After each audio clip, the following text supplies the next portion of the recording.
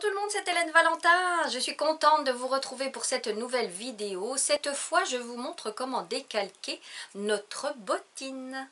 Pour ceux qui arrivent sur cette vidéo par hasard, je suis auteure-illustratrice et je vous accompagne par toute une série de vidéos comment peindre à l'aquarelle l'univers de la mode fin 19e, début 20e, mais de la mode qui tourne autour du French Cancan, à savoir des bottines, des chapeaux, des plumes, des sacs à main, des peignes en ivoire, etc. etc. parce que moi j'adore tout ce qui est cet univers-là.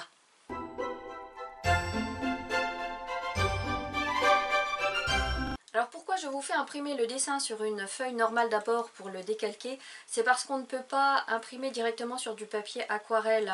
Pour deux raisons, euh, le papier 300 grammes ne passe pas dans les imprimantes. Et s'il devait passer, attention, l'encre des imprimantes n'est pas une encre indélébile et au premier coup de pinceau, votre dessin partira.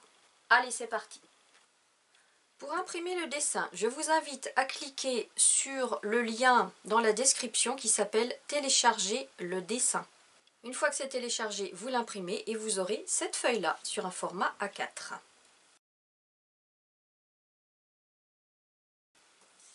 Ensuite, je vous invite à découper le long des bords.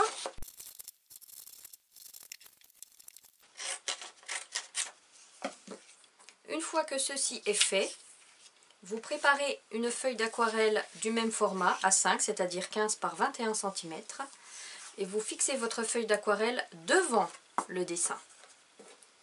Et vous le fixez avec 4 trombones.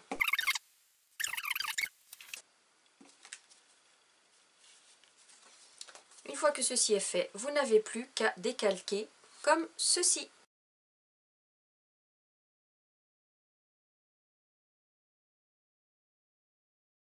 Une fois que vous avez terminé votre dessin au crayon de papier, on va tout simplement le repasser à l'encre. Donc vous prenez votre crayon à encre indélébile et c'est parti.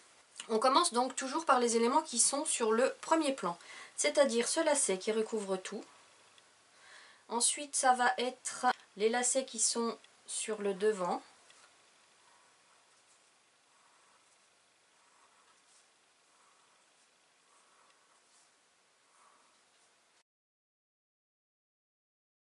Vous pouvez trembloter un peu, donner des petits, des petits mouvements euh, après comme ça avec des petits traits dessus pour donner un peu de mouvement au dessin si vous le souhaitez.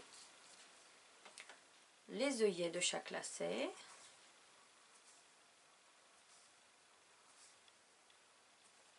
Et les lacets qui passent derrière.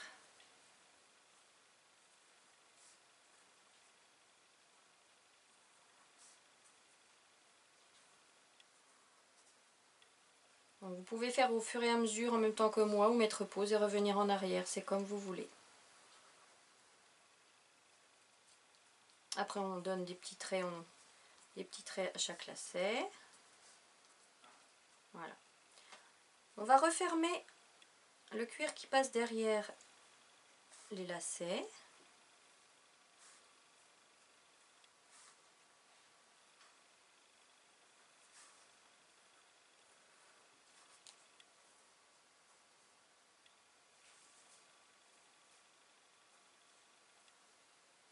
Et à ce stade-là, je vous invite à doubler cette partie-là parce que là, on voit l'épaisseur du cuir.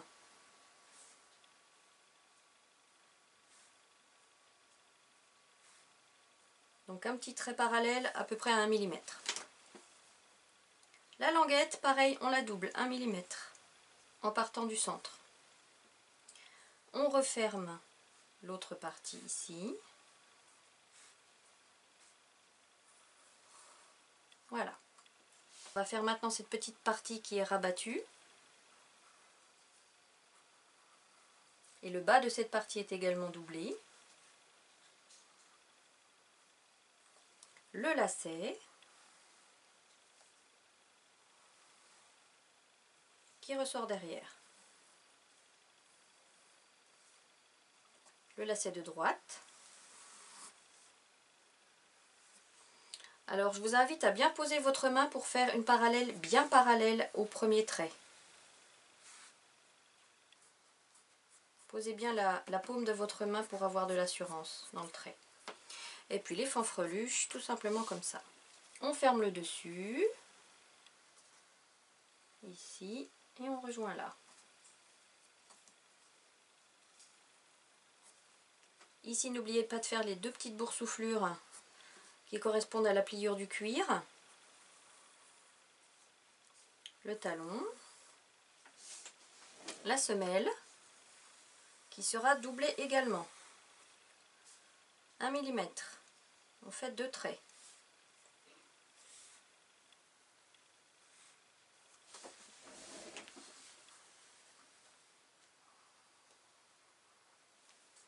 on ferme ici.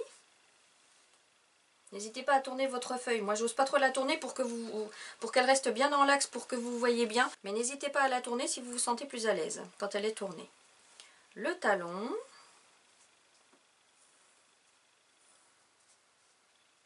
Ferme avec un trait ou deux. Moi, j'aime bien deux. Ça renforce la, la base. En ce qui concerne les poids, on n'oublie pas de les faire sur cette partie-là.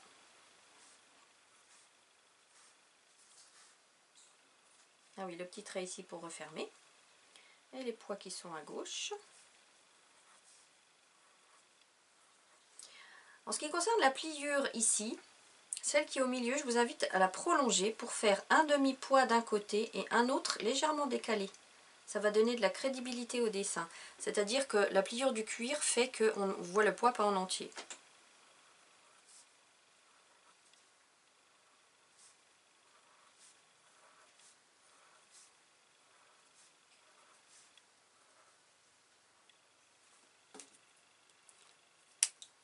Une fois que votre mise en encre est faite, vous gommez dans la foulée. Les crayons à encre indélébile ont ceci d'avantageux que c'est une prise instantanée. Vous pouvez gommer par-dessus tout de suite, ça ne fera pas de bavure. Voilà, votre dessin est prêt à être mis en couleur. Voilà, j'espère que ça vous a plu. Vous pouvez bien sûr me laisser des commentaires. Maintenant, il n'y a plus qu'à mettre en couleur. Je vous propose deux tutos, bottines rouges ou bottines vertes. Ils sont à la fin de cette vidéo. Et pour le petit mot de la fin, s'évader dans une peinture, c'est se payer le luxe de pas ne menant nulle part sur des sentiers oubliés. Je vous embrasse très fort.